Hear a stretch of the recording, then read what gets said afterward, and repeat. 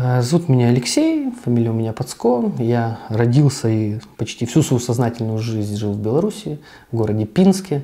Там, за исключением небольшого периода времени, когда я учился в городе Минске. Э, я известен тем, что работал когда-то в суде, в суде Пинского района города Пинска. Мне на данный момент 35 лет. Ну, на данный момент я живу в Германии.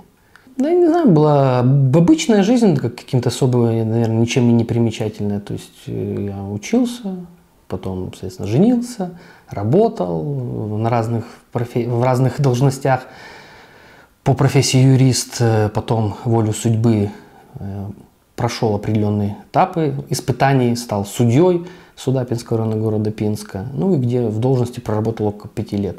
В принципе, жизнь обыденная, работа, дом, семья, как бы дача. Все как обычно, ничем особым таким не примечательная жизнь была.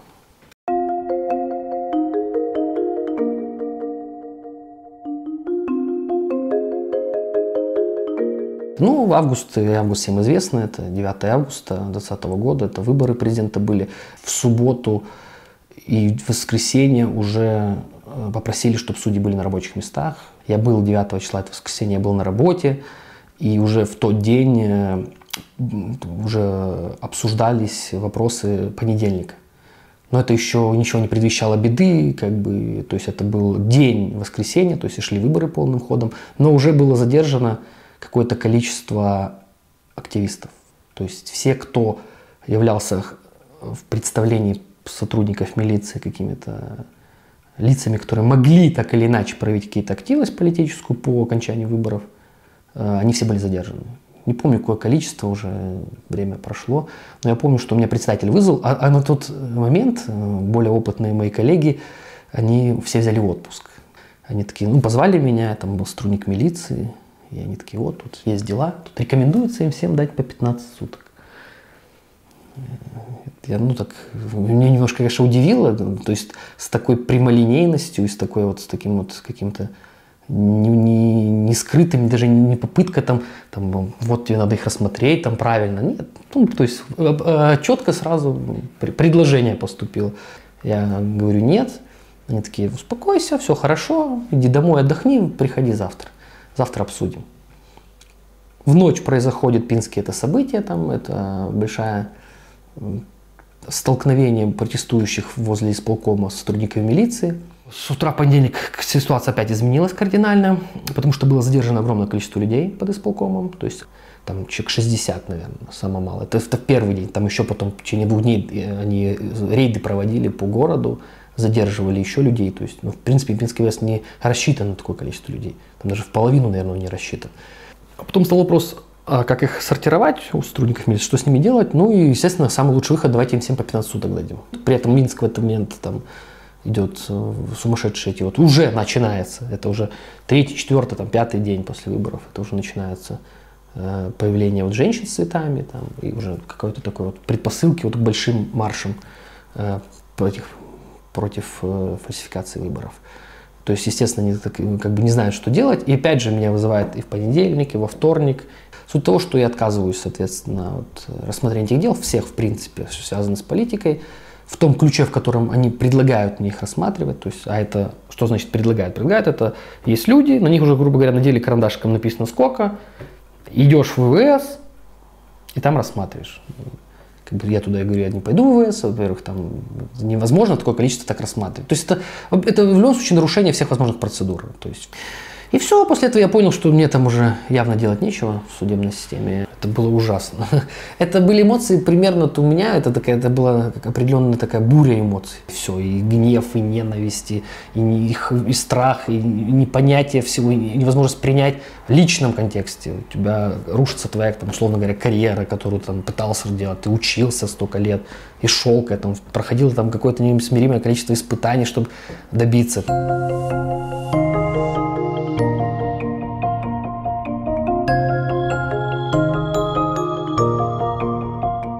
2015 год – это начало большой белорусской либерализации. Это приход самого либерального правительства за весь период, это откат от репрессивных практик в большинстве сферах. И идея была такая, что в том числе, когда я назначался, они говорили, вот идет новый, условно говоря, порядок, мы будем теперь по-другому делать. Вот у нас вот видишь, вот тут смотри, планы там, вот, административный кодекс новый. Посмотри, какие там изменения. Посмотри, уголовном кодексе, декриминализация сплошная, там экономическая жизнь. Вот, смотри. То есть идея была такая, что э, нужны нам новые, молодые, ну, то есть это как они объясняли, и, в принципе, меня это в каком-то смысле тоже... Конечно, я все это понимал, там, я ж, ж, нельзя жить вне контекста. Но общая идея была такая, что вот как бы мы сейчас уже новое время, сейчас вот надо вот развиваться, сейчас вот то-то, то-то, все будет, то есть вот. И в целом первые годы я не помню таких вот случаев какое-то там вмешательства там со стороны там руководства в твою деятельность. Я помню тунеядцев хорошо, помню протесты. Это 18 год, да, если мне память не, не изменяет. 17 год, я вспомню. Да, было, я рассматривал, даже несколько дел я помню рассматривал. Но все равно это, это, это не то, что это несравнимо, э, это сравнимо с точки зрения оснований, но несравнимо с точки зрения подхода системы к, к, тем, к тем вещам. То есть на тот момент мне принесли дела, они пришли как обычно, на, рассматривай. Я посмотрел формально, формально. Это неправильно, может, было там по многим нюансам, можно это все оценивать там с позиции современной, но я принимал те решения. Это было формально, то есть формально соблюдались условия, э, то есть административное нарушение было нарушено, ну, совершено. Если я не, не ошибаюсь, не, я за себя могу точно сказать, что это были только штрафы, точно, и причем они были там, ну, там, не знаю, там, 5-6 базовых, то есть там, там, я не помню, там от 4, наверное, было по минимуму. Я, я могу ошибаться на кодекс поднять, конечно, уже давно я в него не заглядывал, но на тот момент, если я не ошибаюсь, было минимум 4, и там что-то около вот этого минимума штрафы давались 5, 6, 7, там, там в зависимости от того, сколько у кого каких административных, ну, то есть там диапазон там был какой-то. Я, насколько я помню, это было от 4 до 10, где-то вот в этом диапазоне давались штраф. Причем так, э, тоже это очень видно, они все были разные. То есть это тоже еще очень важный нюанс, так э, уже рассуждая о белорусской сегодняшней системе э, и той, что как давалось. Сейчас всем прям видно, вот там все одинаково, прям возьми все суды, соедини, там одинаково, прям как будто какой-то один единый организм это все эти, выдает эти сроки.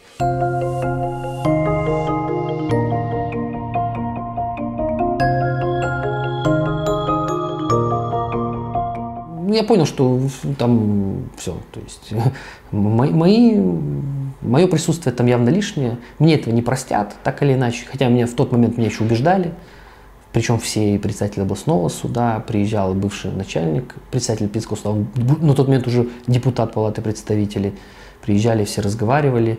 Ну, у них было два нарратива таких основных, когда вот они меня уговаривали. Первый – это «оставайся», Можешь перейти в гражданскую коллегию, можешь там уголовно дальше рассматривать, но только без политики. Там, ну, в любой вариант приемлем. И второе, что они всегда имели, если ты уходишь, ты должен молчать. Я еще после августа почти два месяца отработал. Я подал заявление, там, но вся процедура очень длительная, мне уже не давали никакие дела, там, и в городе там появилось огромное количество каких-то там мифов там, о том, что я там вставал в, прямо в зале судебного заседания, говорил, что я их судить не буду, что милиционеры преступники, там, и уходил, разворачивался. Ну, ну это там много-много там в разных там чатах там и телеграммах об этом писалось, но на самом деле это неправда. То есть я просто говорил, что я не уполномочен их рассматривать, и, извините. То есть я... И я какое-то время работал, и в чем я очень много чего успел за эти два месяца увидеть. Ну, потому что я еще оставался как бы вроде в системе, хотя меня уже там подвергли определенному как бы изоляции такой информационной. Они поняли, что уже я ухожу, и все. То есть коллеги почти со мной никто не общался, все, все, что обсуждение, все, все уходили. Но это все равно, это общее система, все равно все слышишь, видишь, анализируешь. И там, конечно, нельзя было каким-то образом нормально на это все относиться, потому что уже начались вот эти вот перекосы, когда там уже процессуальный закон вообще забыли, начали там уже там все эти истории с масками, там это вот эти свидетельские показания. Ну, в общем, вся вот эта вот э, так называемая дичь, да, то есть такой вот правовой беспредел или как правовое такое творчество, э, вне правовое творчество началось. Все, я ушел в октябре, и достаточно долгое время явно было не до нас.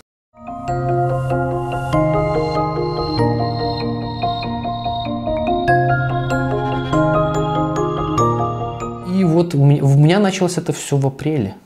С апреля где-то вот примерно. Ну, это же говорю, это все, это, это, это примерно тогда началось, они по всем бывшим силовикам и по всем бывшим госслужащим.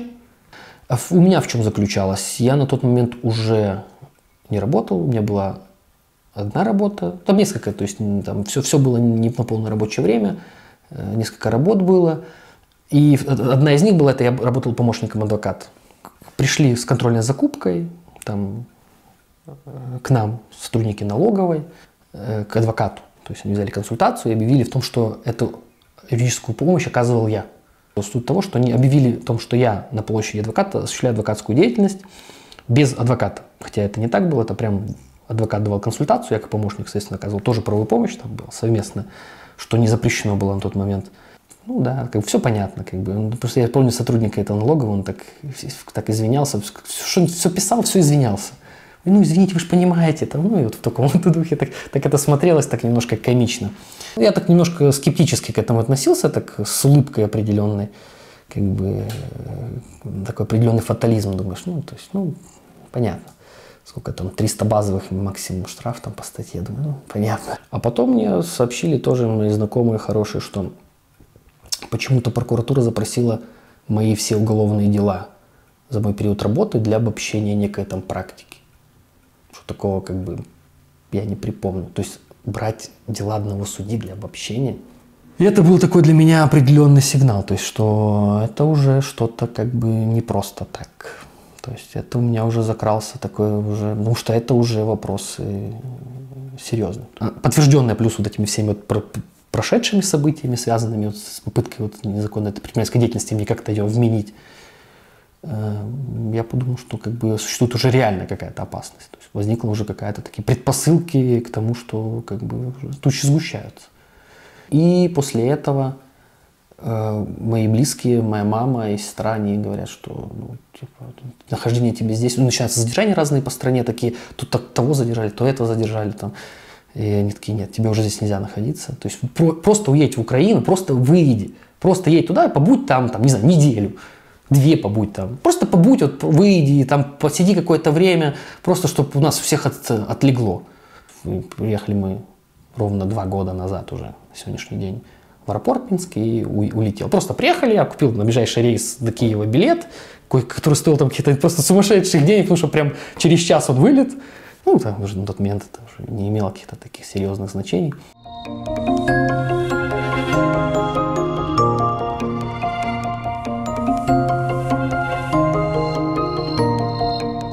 Помню, приезжаю в Киев, вот выхожу в Борисполе, и сразу такой красно-белый у них пешеходные переходы, они красно-белые.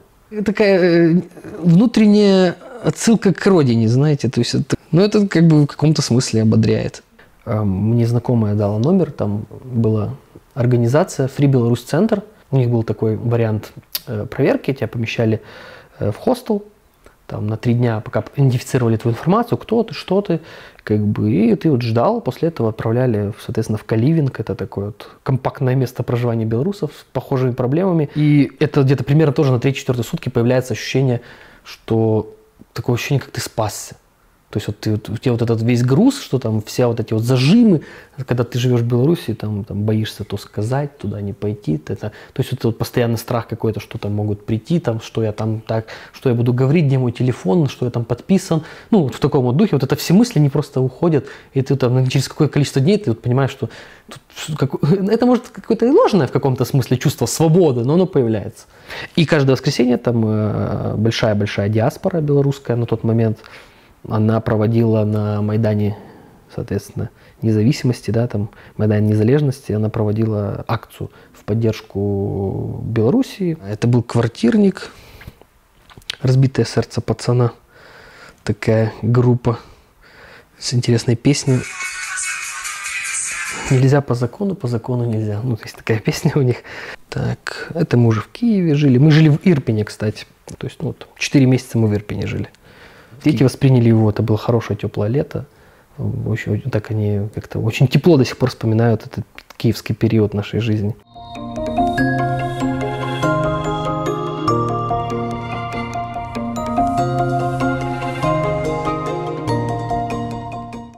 И была Германия, как вот страна, которая достаточно много принимает мигрантов, в том числе была программа по Беларуси. Ну, мы решили податься.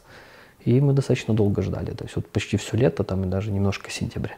И мы, помню, с женой как раз с утра вышли, куда-то решили прогуляться, там, там такой парк хороший был, и Вышли, разговариваем, тоже обсуждаем, что делать, там, может, надо уже нам что-то как-то планы наши корректировать, может, ехать в Польшу следует, потому что тут сентябрь на носу, там, вот, дети учиться надо. И я такой, оп, пым -пым, телефон, я открываю mail с, с консульства. Ну, читаю, там, вы там приглашены, там, т.д. т.д. т.д. И у нас так, как и сразу, как, как, вот, как это вот, э, как камень с души какой-то, вот этот вот процесс ожидания, какая-то эта неопределенность. И муж из Германии была э, определенная надежда в том плане, что есть определенный порядок, и он был четко понятен. Есть программа, есть порядок, приезжаешь, тут легализуешься, становишься центром занятости на учет соответствующий, то есть тебе выплачивают какое-то денежное довольствие, да, то есть ты идешь учиться, то есть в целом этот план был понятен. И эта вот определенность в варианте немецком, что вот почему сюда, она была определяющей.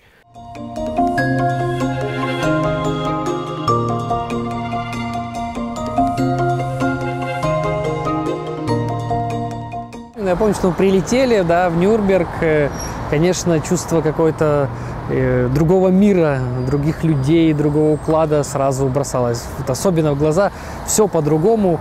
Ну, это, возможно, было такое немножко обманчивое на первый взгляд, но удивляло это. Конечно же, вот тут в центре Нюрнберга, когда вот выходишь возле ЖД вокзала, сразу старый город, э, такая замковая часть, это, конечно, удивляет. Сразу чувствуется большой город, много людей, всех разные, все разные. Это, конечно, это все очень удивляет людей, так сказать, не самого большого города.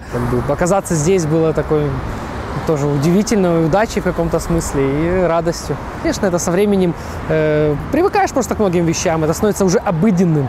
Конечно, ты чувствуешь себя уже здесь не столько, как какой-то там турист. Э, многократно здесь бывая, ты уже ну, как-то свободнее себя чувствуешь, уже ориентируешься спокойно. Уже многие вещи тебя не удивляют. Это, или даже когда приезжают знакомые, друзья, там, приезжаешь сюда, там, ты уже чувствуешь себя таким каким-то плане проводником. Вот уже это вот это, это то. Сейчас рассказывать, это появляются какие-то уже истории непосредственно связанные с Нюрнбергом, рассказываешь их. То есть, да, это становится намного тебе стало ближе, чем было изначально. Что нравится, это очень удивляет и очень дает много пищи для размышлений. Это, конечно же, мультикультурность такое количество различных людей, разных культур, привычек. Даже мы собирались как-то людьми русскоговорящими, да, то есть там были белорусы, украинцы, грузины, румыны. Э, то есть просто собрались, мы учились вместе, но все так или иначе говорим на русском. И у нас всегда очень часто основная тема разговоров это там как в Германии, как у меня дома. И это, конечно, такого опыта, общения с таким количеством людей, которые имеют другой жизненный, опять же, опыт, и, и обменом делиться, это, это, конечно, большой плюс. Дома такого явно нету. И, и, конечно, бывают моменты, когда ты ну, реально хочется домой. По крайней мере, пока э, дом это там. То есть дом это в Беларуси, это Пинск. Дом это там, где ты прошел свое детство, где ты вырос, там, и, ну, всю свою сознательную жизнь провел. Э, то, что тебе близко. То есть ты, конечно, в минуты какие-то там э, тяжелые, ты думаешь, как бы, дом, как вспоминаешь какие-то хорошие моменты, и, конечно, хочется домой поехать. Но если уже исходить уже чисто из каких-то таких реалистичных взглядов, конечно, домой, ну, вся дорога закрыта.